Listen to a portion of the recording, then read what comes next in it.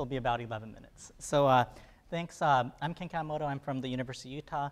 Uh, I was recently recruited there to direct the operational clinical decision support knowledge management, obviously not just for personalized medicine, for, but for all traditional medicine at the health system, and I'm also a faculty member in biomedical informatics.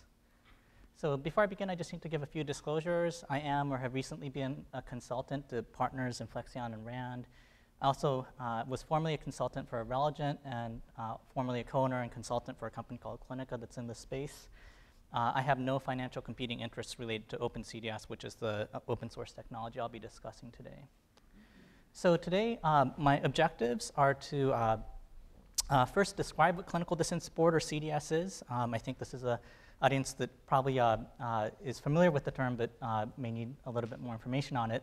And I want to specifically talk about how it can help bridge the translation gap for personalized medicine.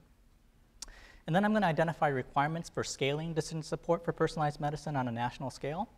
And then describe an open source standards-based decision support resource known as OpenCDS that through actually funding from the NHGRI through a career development award, I was able to start for enabling decision support for personalized medicine. So I'm going to begin with uh, a definition. So uh, clinical decision support uh, can be defined as the provision of pertinent knowledge and or person-specific information to clinical decision makers such as patients and clinicians to enhance health and healthcare. And by supporting evidence-based decision making, clinical decision support can support the translation of evidence into practice. So for example, uh, uh, when we looked at clinical decision support systems that have been evaluated through randomized controlled trials, we found that when they provide patient-specific care recommendations that are automatically provided within clinical workflows, they significantly improve care quality in over 90% of randomized controlled trials. So just to uh, give you a sense of uh, what people typically mean by decision support in this field, here's an example disease management dashboard that uh, I created while we were, I was back at Duke Health System. So this is a disease management dashboard uh, uh, available to clinicians as a part of the electronic health record system.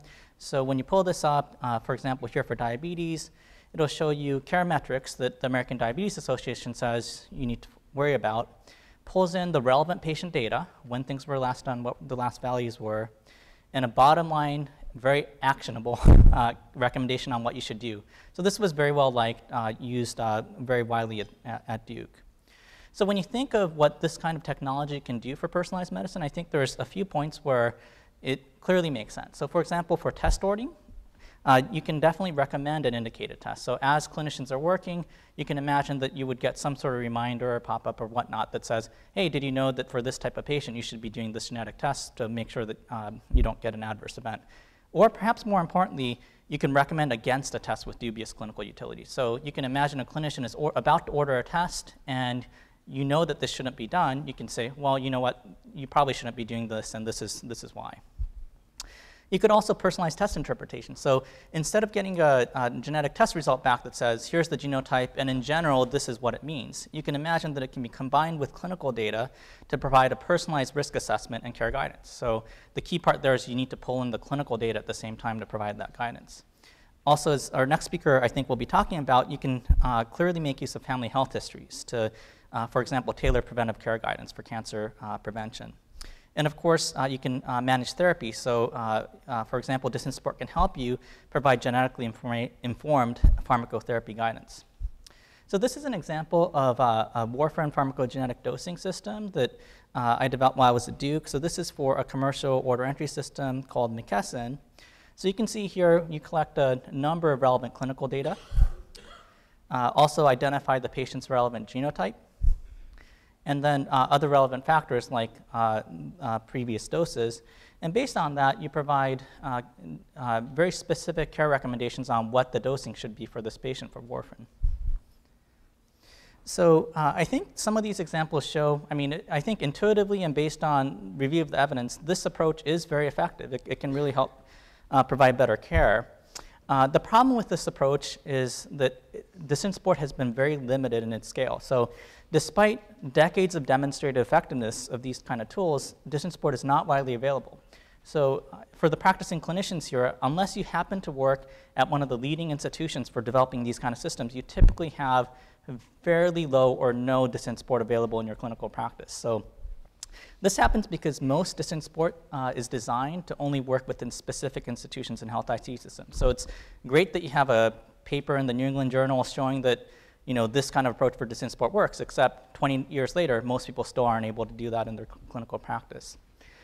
So we still are trying to scale up traditional decision support capabilities that have been validated for decades. And my main point here is that unless we focus on scalability, decision support will have a limited impact on personalized medicine for decades to come.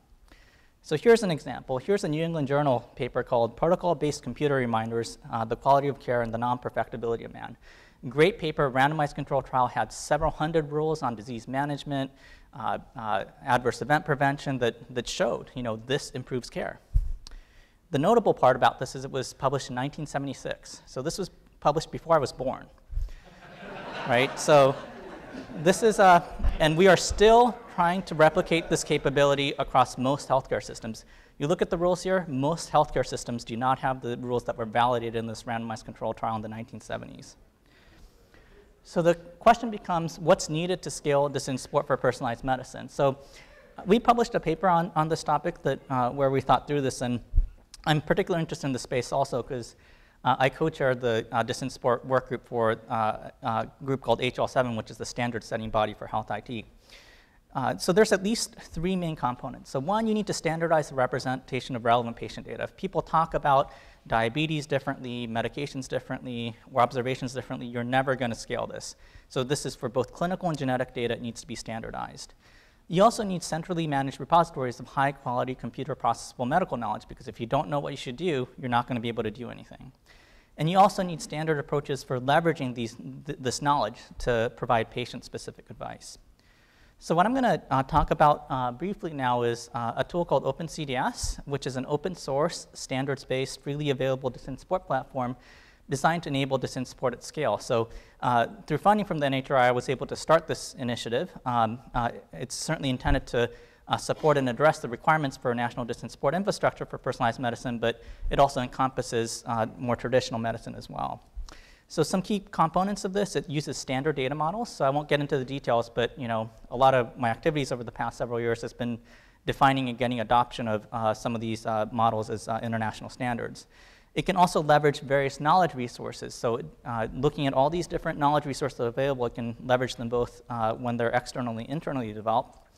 And it provides a standard approach for EHR systems to leverage these kind of resources over the internet through web, what we call web services call, uh, to obtain patient-specific advice. So this has grown into a fairly large collaboration. There's a number of collaborators from both the public and private uh, uh, sector, and actually uh, a fair amount from outside the US. And these are all folks who are interested in pursuing uh, a standard open source approach to, to uh, creating the infrastructure for this kind of decision support that scales. So without getting into technical details, I'm just going to show you um, uh, how this kind of uh, approach works. So you have you know, very simple diagram, uh, given institution with an electronic health record system and their data sources, and then you have OpenCDS as a care guidance service. So what you can see here, for example, is this is uh, the Duke electronic health record system in this kind of approach. When uh, a clinician clicks on, oh, I want the disease summary for, for this patient, patient data is collected, sent to the service over the web, uh, of course using standards, and then again using standards, you get care advice that's generated, returned back to the system so you can do things like this disease management uh, recommendation screen I showed a little bit earlier. Uh, here's another example. So as I mentioned, uh, this approach isn't restricted to uh, particular types of uh, knowledge representation. So here's warfarindosing.org, which was mentioned yesterday, and I think a lot of people are familiar with. So it's a website that provides genetically guided warfarin dosing. So if you'll notice with the screenshot I showed earlier, it'll say here, um, uh, it says dosing guidance received from warfarindosing.org. So we showed how we can use the standard wrapper and they can uh, uh, provide this information. Uh, and just to show you uh, what we have in terms of the actual web, web-based authoring platform, so without going into details, I'll just show that there's uh, web-based uh, authoring of, for example, human-readable decision rules, uh, decision tables. So, for example, this is for vaccination schedule, and this all allows you to provide these kind of recommendations. and our latest edition of, uh, for example, decision diagrams. So you can see here, this is how uh, we're encoding uh, family history uh, risk analysis for uh, identifying if a patient's at uh, increased risk for BRCA mutations.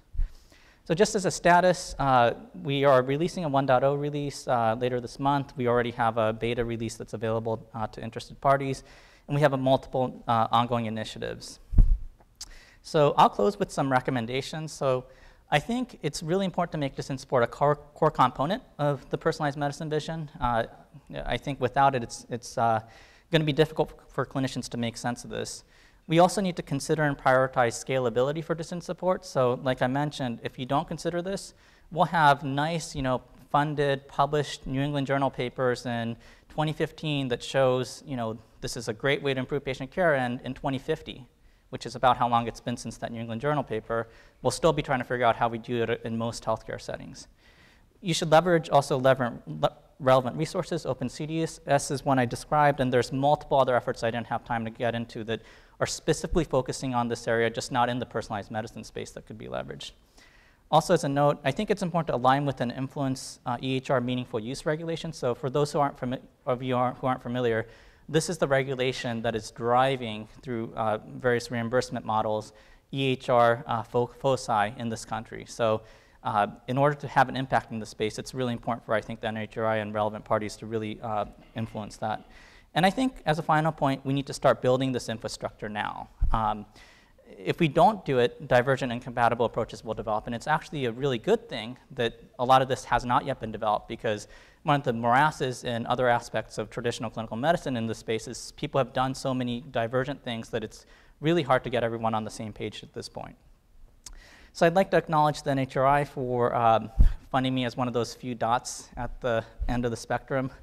Uh, the University of Utah Department of Biomedical Informatics and the Office of the National Coordinator, and also a number of collaborators. If you uh, like information, uh, opencds.org has all the information. Basically, if you have a Google-based email access, I can give anybody free access. And I'd like to uh, thank you for your attention and take any questions.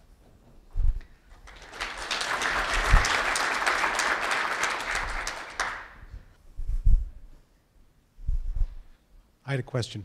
Uh, are you interacting with some of the large EHR uh, providers now, like you know, Epic and some of the yeah, others so that seem to be at the University of Utah, we're working with um, uh, Epic and Cerner installs. There's also a collaborator from a, a health system called Main Line Health in Pennsylvania. Um, the CMIO, the chief medical informatics officer there, was uh, the head of decision support at Siemens and just got a contract with them to try to integrate this kind of technology. Um, we're definitely interested in, uh, uh, we will certainly be doing it for Epic and Cerner because that's my operational duty to do that at the University of Utah. Okay. And, and uh, can I just ask you, was it easy to get Epic and Cerner interested in what you're doing and involved, or not? Um, let me preface that to say I started in August at the University of Utah, so we are still getting started. Um, but uh, just as an anecdote, we had some collaborators from Kaiser of Southern California who wanted to work with us because uh, they were having difficulty having Epic do things for them.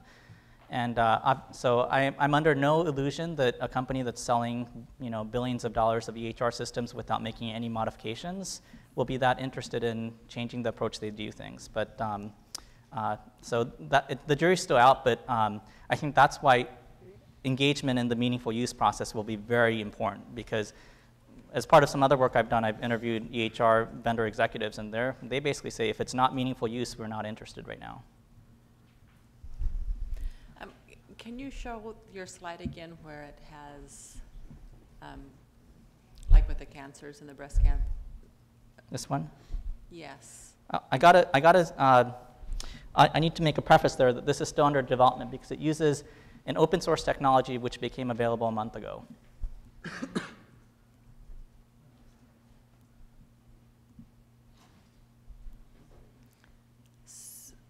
So does it ask anything about, you know, if there is a male relative with breast cancer? Yeah, um, there's a male. Has he been tested, and if so, what the mutation is to be able It doesn't. Um, I just took the take it, straight U.S. yeah. Preventive Services Task Force clinical guidance. So, you know, none of this, any, all this is only as good as the source of the recommendation. Yes, sir. Is there a library in- on the open source server side of these decisions? Is this, does this become something the community can access or we can So work cer- with and understand? Certainly, the infrastructure is uh, all open source. Um, because we've been focused on infrastructure, and as I noted, uh, we're doing the 1.0 infrastructure re- release this month. Um, and actually, some of the base standards on this we just finalized as a standard in September. so um, we've been focused on infrastructure, but we will be making a lot of the content uh, open source. For example, we have a collaboration with the New York Citywide Immunization Registry and the Alabama Department of Public Health, where they will be providing all of their immunization-related decision support, all available open source through OpenCDS.